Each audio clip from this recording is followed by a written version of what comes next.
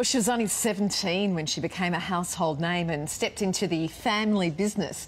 Stephanie McIntosh got her big break on Neighbours, following in the I'm footsteps of her half brother Jason Donovan. It made sense that Steph found herself in showbiz, given her mum, Sue McIntosh, found fame on the Paul Hogan show and Countdown. And Steph's babysitter was none other than Kylie Minogue. She's still going to be all right. How can she not be with so many people to love and care for her? It's not always enough, is it? It can make the difference. So 10 years ago, she released her debut album, which went gold on the ARIA charts in just a week, boasting two top 10 hits.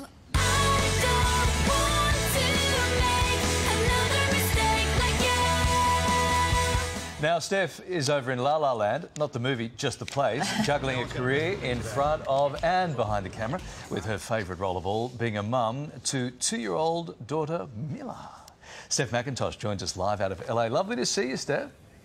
Hi, Larry and Kylie. Thank you, you too. All right, let's, let's walk through it one step at a time. It's, it's been 10 years since your album was released. Uh, you never felt sort of ready to record again, as we understand it, but you're considering uh, heading back to the studio, right? I, don't think I could ever be done with music. The thought of letting it go altogether, it, it, it just can't happen. But I, yeah, I guess I focused on other th- on the other mediums, which was acting and, and now family. But um, I have been fortunate enough over here to record still and write a lot of music. I'm, I'm very lucky. Some family friends of ours are all in the music industry, being the Farrars, uh, John Farrar, Stevie Kipner. They're, they're great songwriters and um, yeah, very influential. So good to be around. So I've been in the studio and, and dabbled a little bit, but not quite ready to release again. Although with the 10 years, I feel like I, I need to maybe honour that and and re-release the tracks to anyone that was interested back at, in the time. Yeah, good idea. Honour it. That's a, Yeah. that's, that's a good way of got going about. Showbiz runs in the family for you. I mean, did you ever want to rebel and, and take a totally different path, or uh, were you drawn to it? Oh, I mean, yeah, absolutely. Sometimes you, it, it was it was so much, and it was so you know surrounded by it. But to be honest, it was it's in my blood and has been from the get go. I. I, I had to, you know, prove to mum and dad that I was really determined and, and passionate, as passionate as I am about it. And, um, you know, it, it started back in the school plays, you know, like the school musicals, playing Dorothy and the Wizard of Oz. I just, it's just been a part of me for since I can remember. Yeah. Now, one time you were so crazy busy. You're an actress, a a singer. You had the, your own reality show called The Steph Show. But you say, and this is no surprise, you said it just got all too much for you.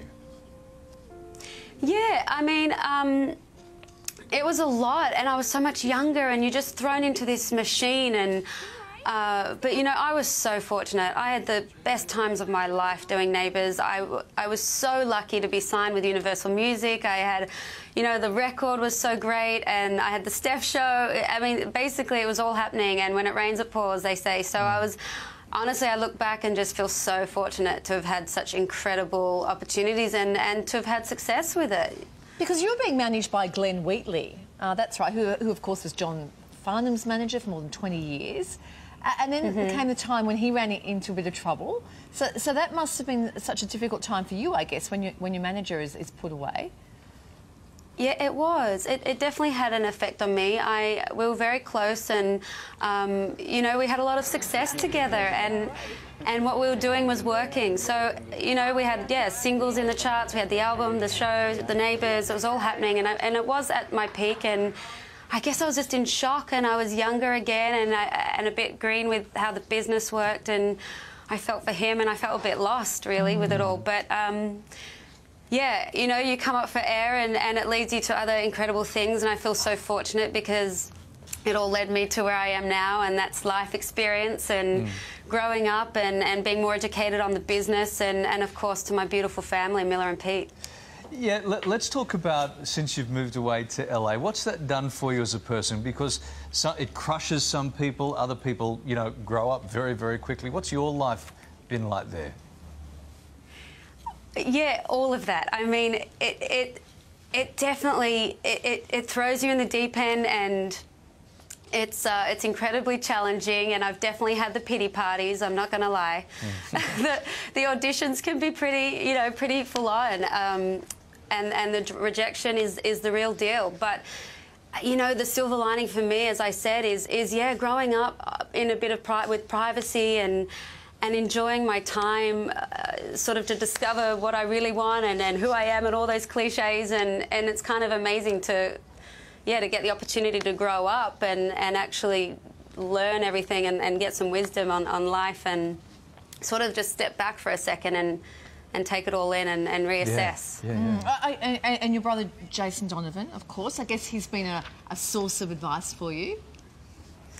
He, you know, it, we, we haven't really spoken about career a lot, which is uh, you'd think we would. But when we have in the past, uh, you know, he always just encouraged me to be professional and, and to enjoy the ride, as my family all have. You know, they've all all been in the business, and mum and dad have always always given me the great advice to. Um, you know, I remember Dad saying on my first day of Neighbours, make sure you you, you know who the crew are and, and who you're around and yeah just have fun and enjoy. It and I think in hindsight now I, was so uh, you take a lot of it for granted at that age. And and you know I just feel lucky at, to have had the ride I've had and to now you know yeah look at it back at it and, and, and enjoy it. Uh, Mila is two years old. When she says to you when she's is. six, Mummy, I want to be in the movies, what are you going to say? Oh. I, I of course I want her to follow whatever makes her happy, but um, yeah, I mean, I would probably encourage her to listen to her parents, as I should have done more with mine. Um, but oh, listen, I, I, I would hate for her to go through the rejection that I have seen and been a part of. It, it can be really heartbreaking and you can just get so frustrated by it all. But I, I think I would encourage her, of course, to follow her passions. And if that's what she wants to do, then we'll be right behind her. And and to you know try and find that balance, which is what I, I've worked on now, I guess, growing up and Yeah. and finding that. Um, yeah, just the joy in the in the ride of it all, and not focusing so much on the destination and, and where you're, you know, the end of it all. Just the whole thing. Yeah.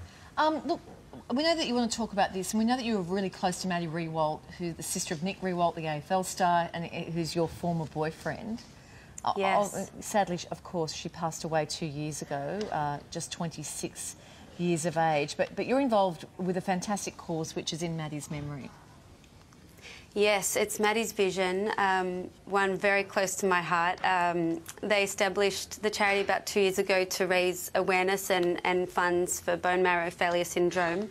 Uh, and, you know, they've, they've been incredibly great with the whole thing. Under two years, it's already raised $1.5 million.